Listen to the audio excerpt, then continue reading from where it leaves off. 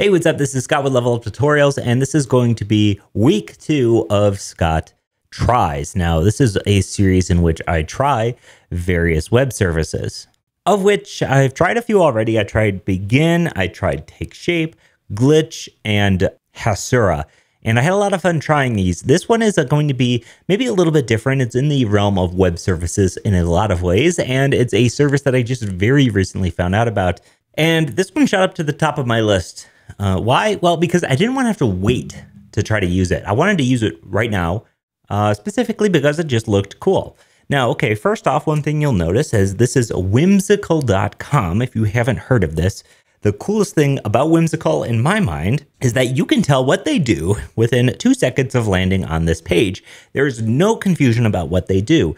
They do flowcharts, wireframes, sticky notes, and mind maps. And if you scroll down, you can see some teams use it and some really cool people use it. Jesse says it's dope, which I love. And Pablo Stanley, if you don't know Pablo Stanley, he does awesome illustration work, uh, awesome design work. He says this is the one. Uh, so if Pablo says it's cool, then I am on board to check it out. Notice how short this page is. Uh, heck yeah. Here's the four things we do. No fluff. Here's the four things we do. Here's some really cool people saying it's awesome. That's it. One thing I'm not exactly psyched about is that there's no pricing on this page. If you scroll, scroll, scroll down to the bottom, you'll see itty bitty teeny tiny pricing here. Now this shows us that they uh, they have a, a monthly fee. Now, for a service like this, I don't know if I personally am going to be paying a monthly fee for this because uh, this is the kind of software that I would open up every once in a while as a solo entrepreneur, you know, business owner, right? I'm going to open this every once in a while to do a flow chart, org chart, whatever. But I'm not going to be using this every day. And software that I pay monthly for, typically I'm going to be using every day. So I understand the irony of me saying that because I have my own monthly subscription service with Level Up tutorials. But nonetheless, I I wouldn't necessarily think to use this 24 7. That said, some people are going to, right? If you're on a team, you're doing this kind of stuff often, maybe you're going to be spending that time. Uh, we do get four free boards for free. So let's go ahead and get started. I'm going to sign in with my Google and let's get going. I'm going to select this one.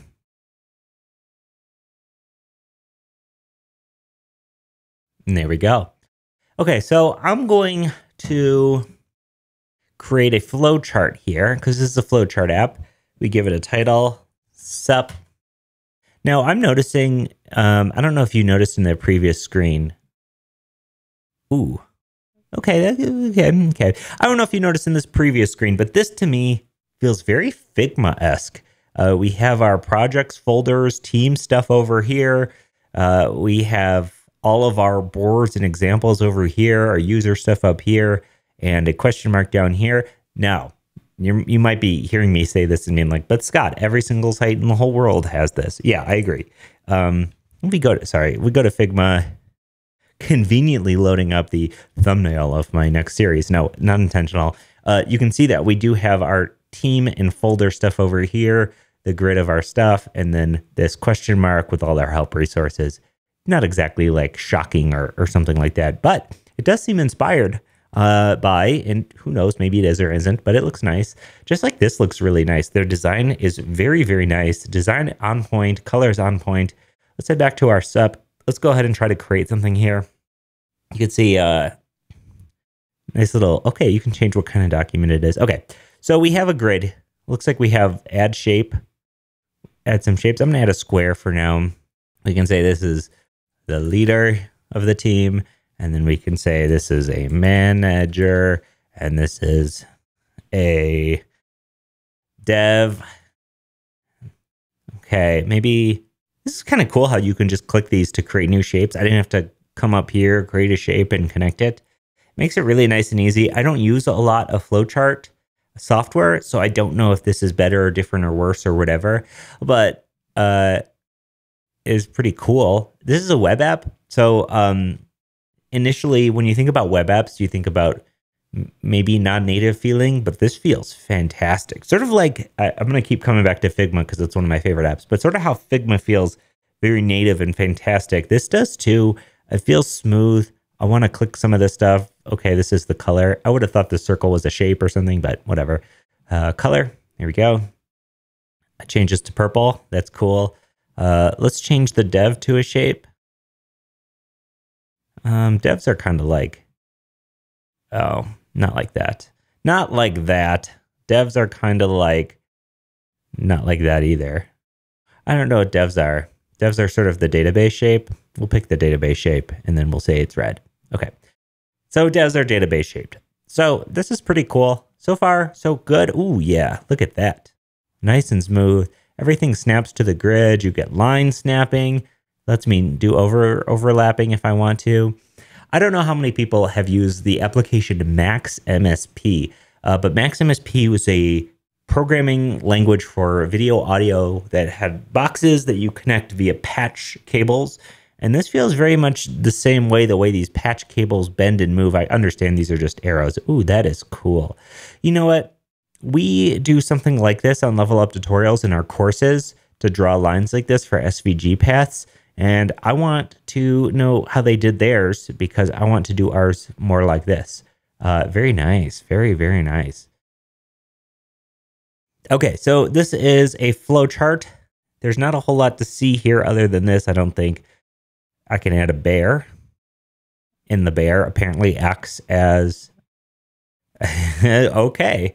The bear apparently acts as a flowchart thing. You can branch off and make other bear charts. This is pretty cool. This is a bear family tree. Uh, we have one bear that uh, solo uh, gave birth to another bear who married another bear. There we go. It's pretty fun. Okay, so let's go ahead and check out some of the other features here. I'm to head back here. I'm going to, instead of creating a new wireframe, I'm going to look at the Yelp one because this is pretty involved. Looks like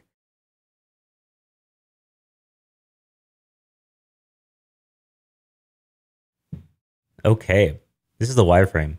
So, wireframes, what does it get you? Uh, it looks like this is all clickable. Click, click, I can click and move and move, whatever. So, fun. I'm wondering how much of this has to be created yourself and how much of it comes here. So let's, because it looks like everything is clickable and movable. But are these all just primitives creating, like, are these just a bunch of squares? Maybe. Um, would be really difficult. I, I personally am probably going to reach for a more full feature tool to do prototyping, something like Figma. I personally use, this sounds like a Figma ad. I'm sorry. I'm, I'm not being paid to mention Figma so much. I, I just use it every day. Um, we have our own design system and, and level up tutorials with Figma, and it makes it really easy to drop in components, sort of like what I assume you're doing here. Let's go ahead and click a window. Okay, cool. It's nice so far. Click an element. What do we have in here? Buttons, buttons, links, buttons, background, text inputs. Select avatar. That one's fun. Okay. Let's select more. Let's select some fun ones. We're going to do horizontal tabs. Here's a tab. Oh, this is fun. We can click a plus and make new tabs like this. I think that's pretty fun. Although I don't know where they went. Oh, I need to give them a title. I need to give them a name. Okay. Yeah, okay, this is pretty cool. Uh, there are features in this that make this very nice. If you are a non-designer type, um, you're not concerned about fidelity in the design and you want to get some stuff on paper, this seems like good. I might I might personally reach for a pad of paper and a pencil instead of something like this. That's me personally. Um, this tool, it looks nice, but am I inclined to use this? Probably not. Why? I don't know.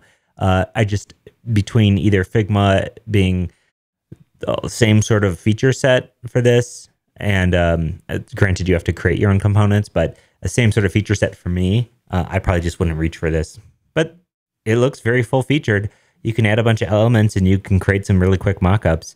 Um, seems like something anybody could do too. So it doesn't seem too difficult to figure out. Okay, so let's go ahead and check out sticky notes, which this is one and maybe the most skeptical about. Um, if, let's see, test, okay, let's create some new sticky notes. Create a card and say, this is an idea, I guess. Duplicate, watch card, color card. large, small, idea, expand card. Oh, oh, oh. Um, I wasn't expecting this. We can say, uh, what's up with the the new design? And then I can comment and say, it stinks. PU, stinky. Okay. Nice little commenting system I can assign to various people. Apparently can be part of a stack. Okay. Okay. So this is cool. Apparently this is a stack and maybe it's Kanban board, Kanban board like. I'm sorry, Japanese people. I just said Kanban. What am I thinking? Kanban board. Um, sorry, I'm just clicking around here. Can I drag this to this one? I can. So you could think of this as creating your own Trello board, your own Kanban board, or doing. I'm going to do this in Notion. I'm not going to do this in this this app. It honestly feels like it's shoehorned in here. I respect that you could keep all of your stuff in one place and you would only have to pay for one service to do this. There are other tools that do this better. Um, it's good though, and the the goodest thing about this is that it it looks nice. Um, I think that's important. Yeah, you can create a stack of cards here. Okay, okay, I get it. I think it's interesting. I think it's a very interesting idea. I think it looks nice. It feels nice. It functions nice. I still probably wouldn't reach for this over other tools. Okay, last tool is the mind map. Now, I'm most excited for the mind map. Why? I think I'm most inclined to use this application for a mind map. I do a lot of brainstorming. Uh, let's think about this. I'm going to do a brainstorming on the new quizzes feature. Okay, quizzes. Let's go ahead and it looks like these buttons still exist here for same thing. So I'll click one, see what it does. Okay, and within quizzes, let's say they are going to be community driven, as in uh, we're doing quizzes and people can submit them. And uh, another branch off, an idea off of community driven is pay per quiz.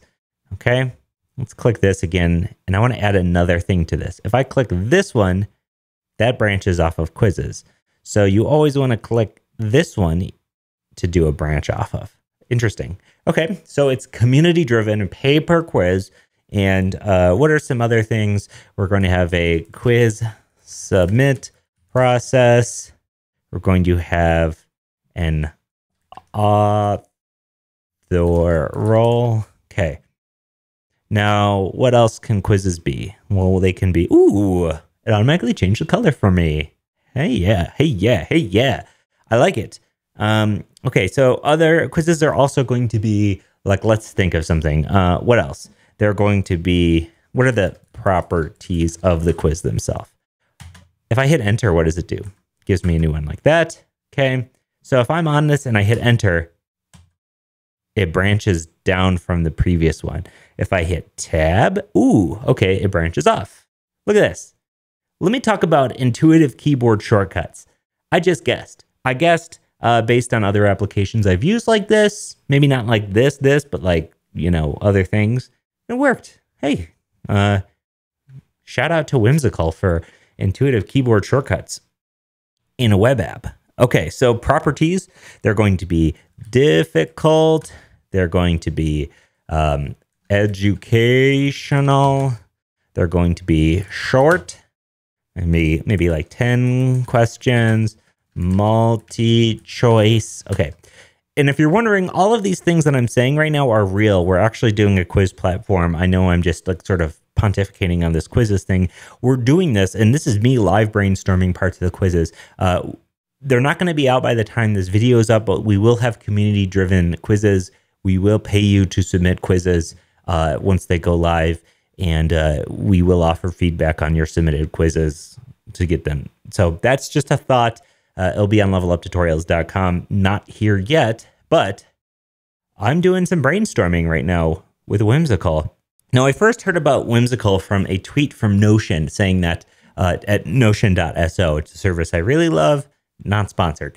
Um, they said that you could embed a whimsical document and uh, into Notion. I know a lot of people have been asking for flowcharts and things like that within Notion itself, and instead, Notion was like, "Well, you can embed whimsical," and I was like, "Oh, whimsical, what's that?" So I have an open Notion document here. Here it is, and I'm going to attempt to embed a whimsical document. So we'll just call this well, we'll call this quizzes chart. We'll we'll, we'll see if I can use this um, again in the future. And I saw in their tweet, we just do forward slash whimsical. Enter it. Okay. Embed whimsical works with whimsical links with a public link access enabled. So I need to figure out how to get a public link. I'm going to look. The reason why I looked up here, if we're being entirely honest, I looked up in the upper right hand corner. Why? Because that's where it is in Figma. And I have a feeling like these folks were inspired by Figma. Just a minor feeling they they may not be, but it it was there. So uh, either I got lucky or I'm good. So let's go ahead and click Get Shareable Link because that's the first option. We can copy this. It said that they need public access, so I'm going to turn public access on. I would assume that doesn't make this public public, but it makes it public with a link because that's how a lot of these services do it. I'm going to want to confirm that though. I'm pretty sure though. Let's go ahead and paste this in, enter embed whimsical. See this in action. Oh, I got to click the button. Turns out I have to click the button and uh, here we are. Embedded whimsical. I can make this bigger or smaller. I can zoom in. Can I make it wider? I certainly can. Let's open this as a full page. Let's tell this to do full width. And look at that. We have whimsical charts in Figma or in Notion, not Figma. I got Figma in the brain. What can I say? Um, you know, this is cool, but the kind of person that I am, I'm going to be kind of nuts about this and say, oh, I wish this background could be maybe blending in here. So it makes me curious. Are you able to change the background color here? We have gray, zoom out, zoom to content, zoom to content. Ooh, that's nice.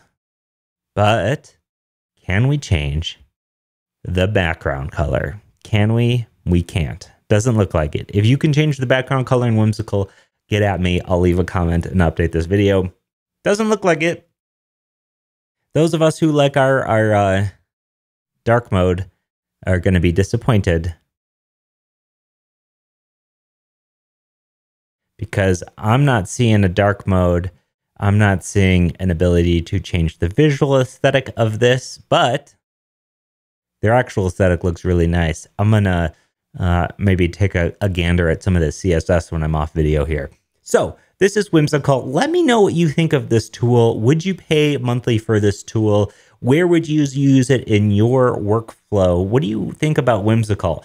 I personally am going to expand upon this mind map here. I'm going to use up my four free boards.